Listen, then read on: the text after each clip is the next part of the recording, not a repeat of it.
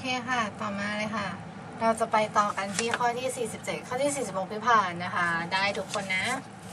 ต่อกันข้อที่ 47 เลยค่ะ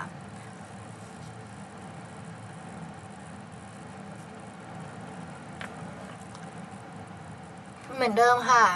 ให้เวลา 10 วินาทีค่ะน้องคะทำการอ่านโจทย์ให้เรียบร้อยแล้วเลือก choice 1 2 3 4ค่ะ พี่ให้เวลาแป๊บนึงค่ะ ข้อสอบ grammar ค่ะพี่ขอแนะนำนะ โดยเฉพาะอย่างยิ่งข้อสอบ grammar เป็นข้อสอบที่น้องควรจะทำด้วยตนเองอย่างยิ่งนะคะน้องคะคือถ้าน้องฟังที่พี่พูดอย่างเหมือนกับว่าน้องก็ฟังไปเรื่อยๆน้องก็แบบเออใช่ใช่พี่พูดอย่างนี้เออถูกต้องถูกต้องต้องเป็นอย่างนี้เนี่ยแหละเออถูกต้องต้องตอบช้อยนี้ง่ายอะมันจะอารมณ์นี้มากค่ะน้องค่ะพี่เป็นเหมือนกันค่ะ ตอนที่พี่เรียนใช่ป่ะพี่ก็แบบฟังไปเรื่อยๆตามที่ครูพูดค่ะ แล้วก็เฮ้ย make sense make sense อันนี้ถูกใช่ถูกอะไรอย่างเงี้ย อารมณ์นั้นมากค่ะน้องค่ะ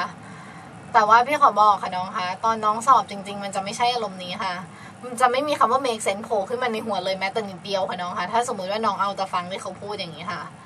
คือตอนที่ครูพูดมันเป็นอะไรที่เข้าใจได้เพราะเหมือนกับว่าครูพูดแล้วเราคิดตามไปเรื่อยๆ แต่ว่าเหมือนกับว่าเราอะยังไม่ได้ลองฝึกคิดเองค่ะ เพราะฉะนั้นพี่ก็เลยแบบอยากให้ข้อสอบแกมมาของน้องทุกข้อที่อยู่ในนี้น้องฝึกคิดเอง น้องฝึกทำเอง เข้าใจที่พี่พูดใช่ไหมคะ จริง ๆ นะน้อง เพราะว่ามันเป็นอารมณ์นี้มากๆเลยค่ะ คือเหมือนแบบ เนี่ย มันเป็นอารมณ์ใช่เนาะมันเป็นอารมณ์อย่างเงี้ย เพราะว่าพี่พูดจริง ๆ นะ ถ้าเราไม่ฝึกทำอะมันจะเป็นอารมณ์นั้นในห้องสอบน้องจะไม่ไม่ปิ๊งอะ เข้าใจที่พี่พูดไหมอะ เหมือนแบบในห้องสอบน้องบางคนแบบเพื่อนบางคนบอกบอกมาว่าเฮ้ยมันต้องตอบข้อนี้แหละ ถามว่าทำไมเพื่อนบอกว่า ไม่รู้อะน่าจะเป็นอย่างนั้นแหละ มันจะอารมณ์นั้นค่ะน้องคะคือถ้าน้องทำบ่อยๆ มันจะได้อารมณ์แบบว่าเฮ้ยมันน่าจะเป็นอย่างเงี้ย น่าจะเป็นอย่างเงี้ย อะไรประมาณนี้ค่ะนั่นแหละค่ะน้องค่ะ ก็เอาเถอะ ค่ะ โอเค พี่ก็พูดเกริ่นอารัมภบทเล็กน้อยนะคะ ตอนต้นข้อเพื่อเปิดโอกาสให้น้องได้อ่านอย่างเต็มที่นะคะแล้วก็จะได้ทำนะคะ เออน้องคะอันนี้ขีดผิดนะคะ ไม่มีคำว่า monster นะคะ เห็นไหมคะน้องคะตรง monster มันถูกขีดเส้นใต้อะค่ะ ไม่ไม่ต้องขีดเส้นใต้นะคะ นี่ monster เฉยๆค่ะ choice ข้อ 2 คือขีดเส้นใต้แค่คำว่าไหลค่ะ พอแล้ว monster ไม่ต้องขีดเส้นใต้นะคะ คือพี่ไม่มี liquid อะเนาะเนี่ยไม่ไม่ไม่ขีดเส้นใต้นะคะน้องคะ monster ไม่เอานะข้อ 2 ขีดเส้นใต้คำว่าไหลคำเดียวค่ะ โอเคค่ะเนื่องจากพี่เปิดเวลาให้น้องอ่านเรียบร้อยแล้ว พี่จะขออนุญาตอ่านโจทย์นะคะ แล้วเดี๋ยวจะแปลแล้วก็เริ่มทำได้เลยค่ะ เขาบอกว่า today the enemy is within a radicalism that like Frankenstein's monster have turned it on its former pattern แปลว่าอะไรคะแปลว่าเขาบอกว่าในวันนี้ค่ะศัตรูที่แบบเหมือนกับพวกลาติหัวรุนแรงค่ะ ที่แบบอารมณ์คล้ายๆแฟรงเกนสไตน์ค่ะ ที่เป็นอสูรกายเนี่ยนะคะ ได้หันกลับไปหาผู้อุปถัมภ์ผู้ผู้อุปถัมภ์คนก่อนหน้าค่ะ ผู้แบบสนับสนุนคนก่อนหน้านั่นเอง แล้วเรามาดูคำศัพท์นิดนึงนะคะ อันนี้คำศัพท์ไม่ค่อยมีเท่าไหร่ค่ะนะคะคำว่า radicalism แปลว่าอะไรคะ radicalism แปลว่าพวกหัวรุนแรงค่ะ radicalism แปลว่าพวกหัวรุนแรงลัทธิหัวรุนแรงค่ะ like a Frankenstein monster ค่ะ น้องจำ Frankenstein ได้ไหมคะ ที่เป็นอสูร Frankenstein ค่ะคำว่า monster แปลว่าอะไรคะ monster แปลว่าอสูรกายค่ะ น้องรู้จัก Frankenstein กันหมดไหมคะ น้องจำได้ไหมคะที่แบบไอตัวอสูรอสูร Frankenstein อะน้องอันนั้นนะคะน้องรู้จักปะอืม พี่จะลองเปิดเน็ตให้ดูแป๊บนึงนะ เดี๋ยวพี่ต้องต่อเน็ตก่อนนะคะระหว่างนี้รอสักครู่ค่ะน้องคะทำเลยค่ะ การเลยค่ะชอยข้อหนึ่งสองสามหรือสี่คะ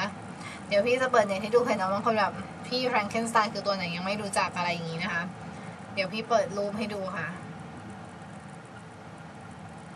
แป๊บนึงนะ ระหว่างนี้ทำไปก่อนค่ะน้องคะ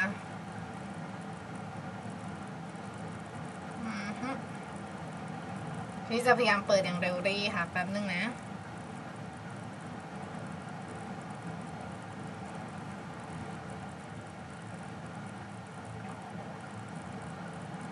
เสร็จไหมคะน้องคะน้องตอบอะไรกันบ้างเอ่ย มีใครตอบข้อหนึ่งบ้างคะ มีใครตอบข้อสองปะ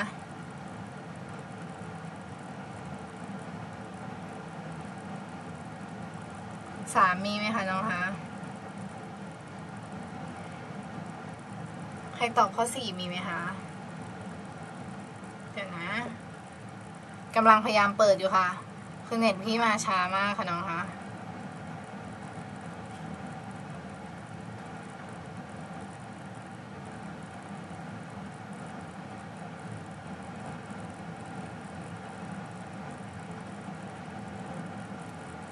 โอเคค่ะ ได้แล้วเดี๋ยวนะ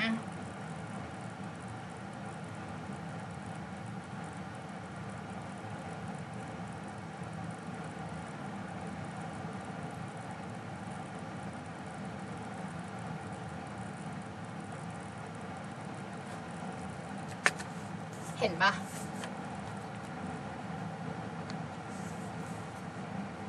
นึกภาพแฟรงเกนสไตน์ออกไหมคะ อารมณ์เนี้ยที่แบบเหมือน อารมณ์ประมาณอาสูรน่ากลัวน่ากลัว พี่เชื่อว่าน้องทุกคนได้ดูหนังได้ดูใช่ปะอันเนี้ยค่ะแฟรงเกนสไตน์เผื่อบางคนแบบแฟรงเกนสไตน์ไหนพี่ยังนึกไม่ออกอะไรอย่างงี้ พี่ก็เอารูปให้ดูนะคะ โอเค กลับมาค่ะกลับมา เรียนต่อ เขาบอกว่าอะไรคะอ่าฮะ monster ค่ะ แปลว่าสูรกาย ต่อมาคำว่า former แปลว่าอะไรคะ former แปลว่าที่ที่มีมาก่อนค่ะ patron แปลว่าอะไรเอ่ย former อยู่นี่นะแล้วก็ patron นะคะ patron แปลว่าผู้อุปการะผู้สนับสนุนนะคะ patron แปลว่าผู้อุปถัมภ์ผู้อุปการะผู้สนับสนุนนะคะ patron เท่ากับคำว่า supporter sponsor แล้วก็ promoter ค่ะ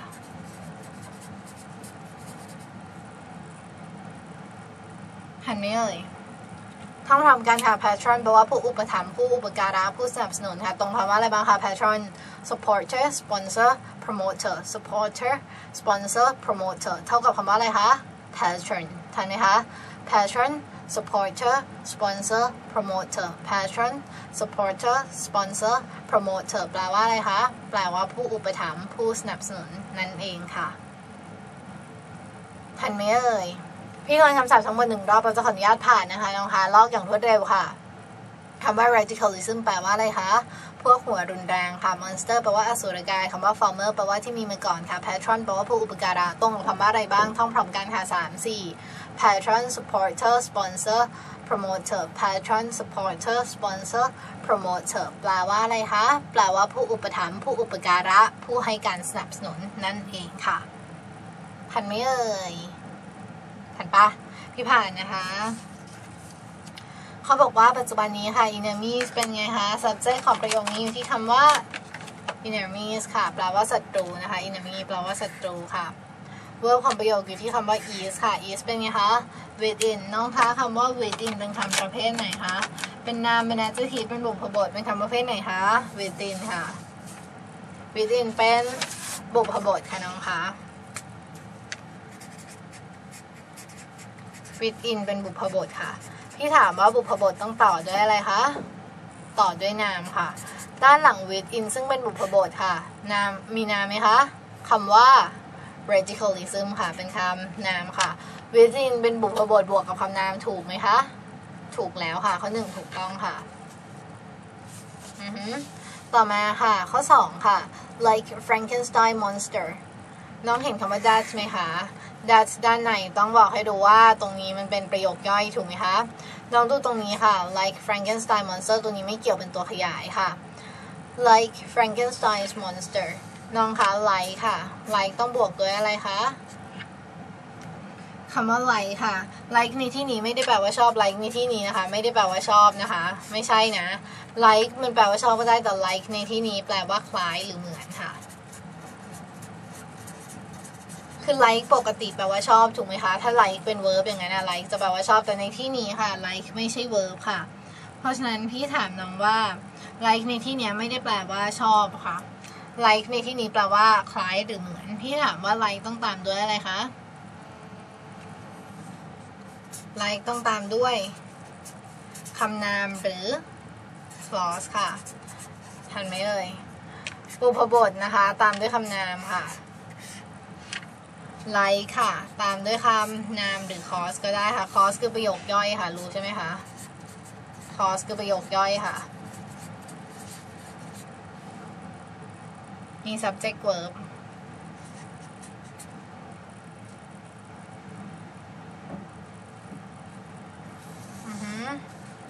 ราะฉะนั้นเขาบอกว่า like Frankenstein monster like ตามด้วยคำนามไหมคะ นามค่ะ like บวกนามถูกไหมคะ ถูกแล้วค่ะ ทันไหมเอ่ย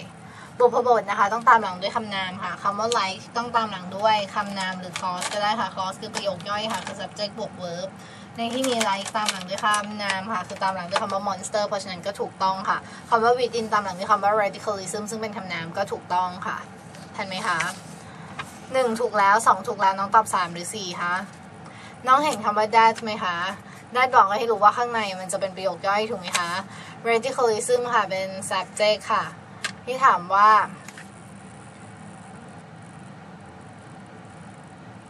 พี่ว่าพี่ดูผิดอะ เดี๋ยวนะ น้องค่ะพี่ขอโทษน้องแก้ได้ไหมอะ พี่ว่าพี่ดูผิดอะ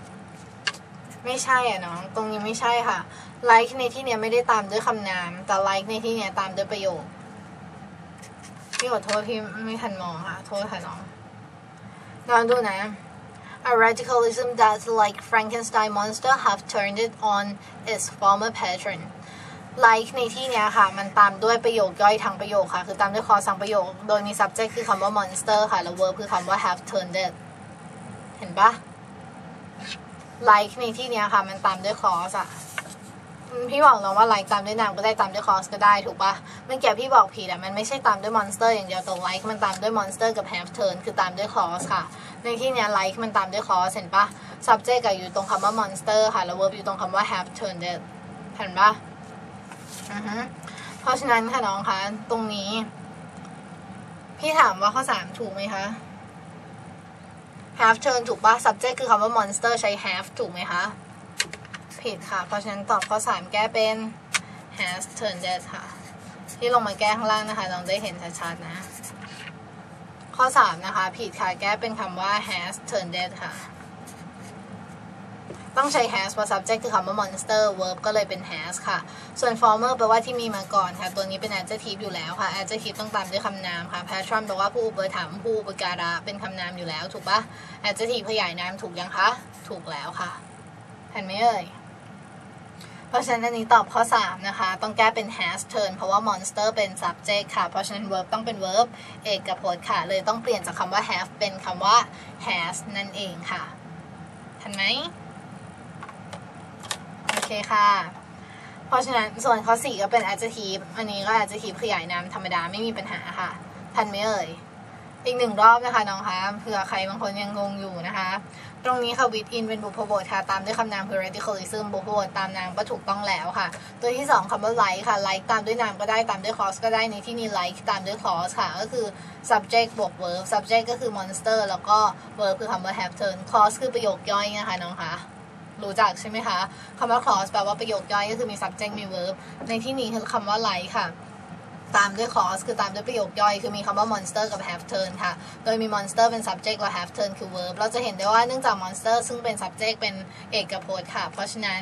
ตรง verb ใช้คำว่า have ไม่ได้ค่ะ ข้อ 3 จึงผิดแก้เป็น has turn ค่ะ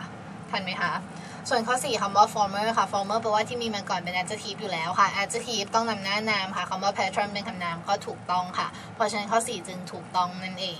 adjective ขยายนามธรรมดา ทันไหม เพราะฉะนั้นเราจะไปต่อกันที่ข้อที่ 48 เลยนะคะ